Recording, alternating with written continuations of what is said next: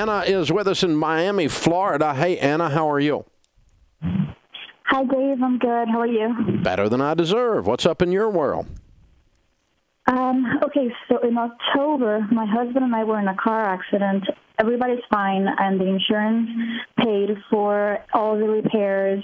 But uh, we, we rear-ended someone. We were at fault, and we just received a notification that we might be getting sued because we were underinsured. Um, so we're in baby step two, and we're scheduled to be out of baby step two to this month. At the end of the month, we have about we have the last three thousand dollars that we're going to send to the, the car payment. So your your your car insurance was not enough to cover the other people's car or medical bills medical bills.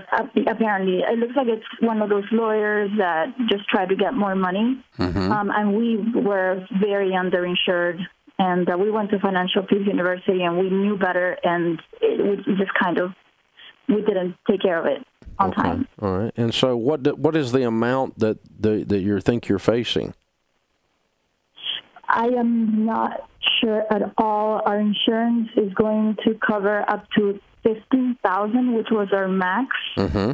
And um, does that include the replacement of their car, or is that medical? Just not. Uh, well, this is for the bodily injury. Um, right. The bodily injury was 50K. Okay, that's what I'm checking. All right. Right. And so above yeah. 50K, was this a really bad wreck? It, was not at all. Um, so they, why do you do you think the person was, hurt that badly, or do you think this is not a scam? All. Not at all. I think it's uh, it, they're trying to just scam. I guess. Gotcha. Okay. All right. Here's what I would do then. Um, as you finish up baby step two, you're going to finish up when?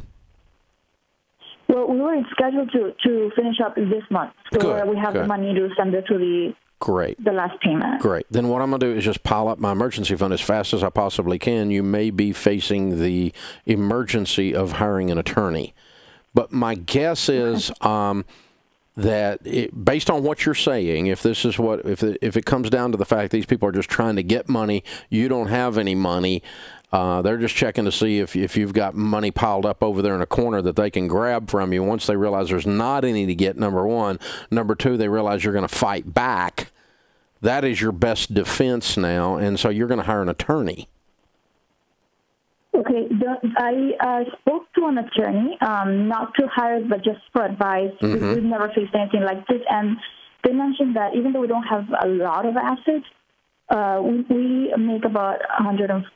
They can come after 35. your income, but that's the, not the point. The right. point is you're going to use your income to hire an attorney to not give these people money that they are not due if they're trying to scam you.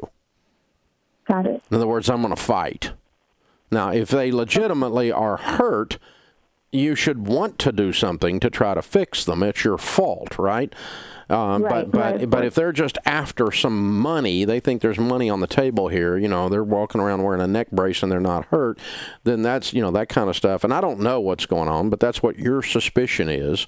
That that yes. fifty thousand should have covered this wreck, the medical on this wreck, and you know. Um, a would a, if a reasonable person sat down at your kitchen table and showed you that there were you know uh, fifty seven thousand dollars worth of medical bills, you'd probably write them a check for seven if you had it, or do it shortly, you know. And uh, but but and you looked at the bills and you went, yeah, that that's I get that, okay. But if they're just saying, hey, I think I, am going to hire an ambulance chasing attorney and uh, go after these people, then what I'm going to do there is I'm going to hit them hard, fast, and often in the mouth and I'm going to hire an attorney that's so mean I don't even like him.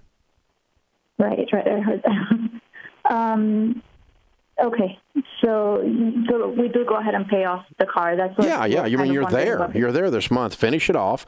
Now right. you use your income and very quickly build your emergency fund. And I don't mind if it even gets a little bit larger, not to give them a target to shoot at, but for you to hire an attorney with. Okay, so another quick question, if you don't mind. Um, we did our taxes, and uh, we were about we were about to pay we had to pay about three thousand dollars, and then uh, the tax our tax person they recommended us to put uh, to max out our IRAs. Um, no, no, you don't need your tax April. person deciding what you're going to do. You know what you're supposed to do. You're not ready to max out IRAs. You don't have your emergency fund built, and you're facing a lawsuit. Okay. You don't max out Yeah, your IRAs in that what we were situation. Mm-hmm. You need a pile of cash right now. You need a war chest because we're getting ready to go to war. That's what it sounds like to me. That's the way you're describing this. If it's something different than that, then it's something different than that. But that's based on what you told me.